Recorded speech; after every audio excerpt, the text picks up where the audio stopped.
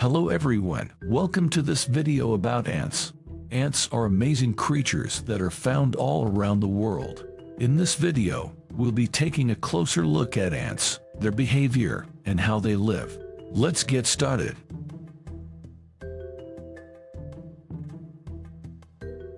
Ants are small insects that belong to the family Formicidae. They have three distinct body parts, the head, thorax, and abdomen.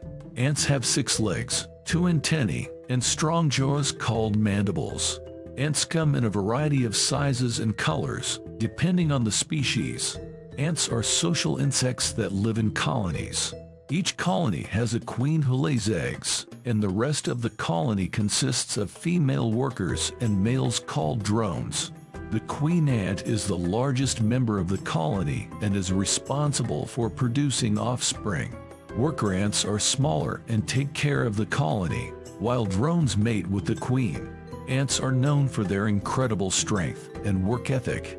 They communicate with each other through a complex system of pheromones and can work together to solve problems. Ants are also very organized and work in a highly structured manner. They are able to find food sources and bring them back to the colony, sometimes traveling great distances to do so. Ants play a crucial role in many ecosystems. They help to aerate soil and distribute seeds, and some species even act as natural pest control by preying on other insects. Ants also play a role in nutrient cycling and can improve soil quality. Did you know that some ant species can carry objects that are up to 50 times their own body weight?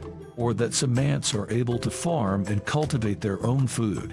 There are over 12,000 species of ants known to science and they are found on every continent except Antarctica.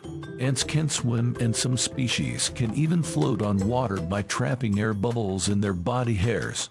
They can see polarized light, which helps them navigate and communicate with each other.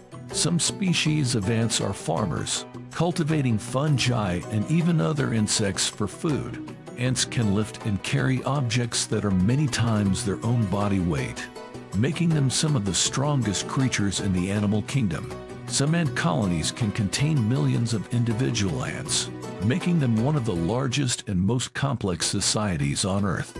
Ants can use their mandibles to defend themselves from predators, but some species also have stingers and can deliver painful bites and stings. They have a special gland that produces formic acid, which they use for defense, communication, and as a preservative for food. Ants can solve complex problems and work together to accomplish tasks, such as building intricate tunnels and structures. Some species of ants are known for their unique and fascinating behaviors, such as the leaf cutter ants that cut and carry pieces of leaves back to their nests, or the army ants that form massive swarms to hunt for prey. So there you have it, a brief overview of ants.